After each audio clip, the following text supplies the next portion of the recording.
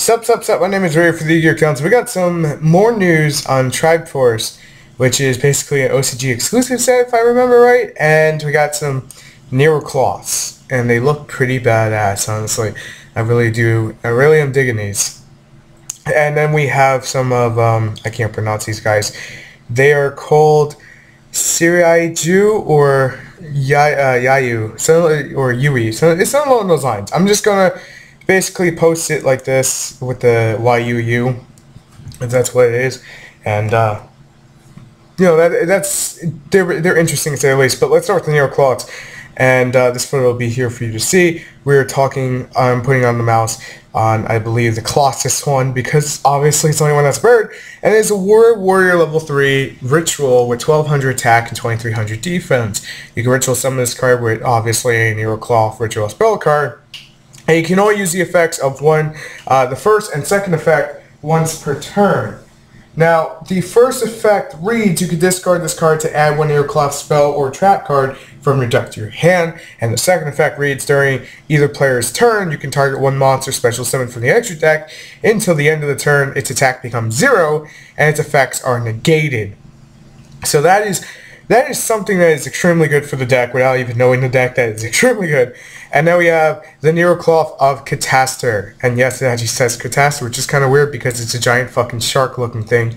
And I think everyone can pretty much agree with me on that.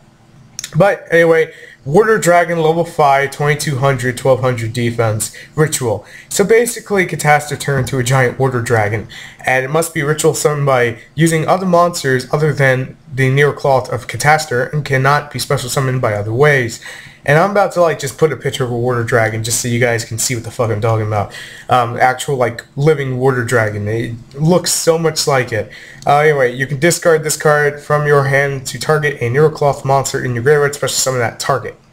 At the start of the damage step, if your Necloth monster battles a monster special summon from the extra deck, destroy that monster immediately without applying damage calculation. Also really good.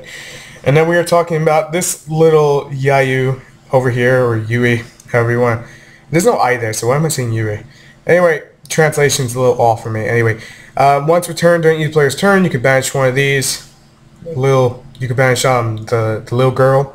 Let's put it that way. And then you can banish one in your graveyard, apply the following effects. All these monsters gain X amount of attack. They're not fully sure. Translation still not there yet.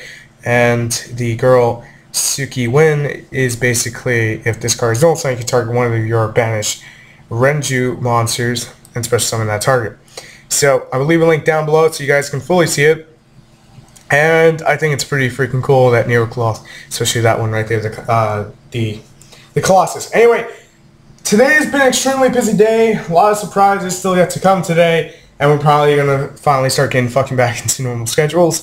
I'm just excited, I had to drop the F-bomb. So I will see you then. I'm ready for the U Council. Thanks for watching. Until next time, rate, comment, subscribe, and peace.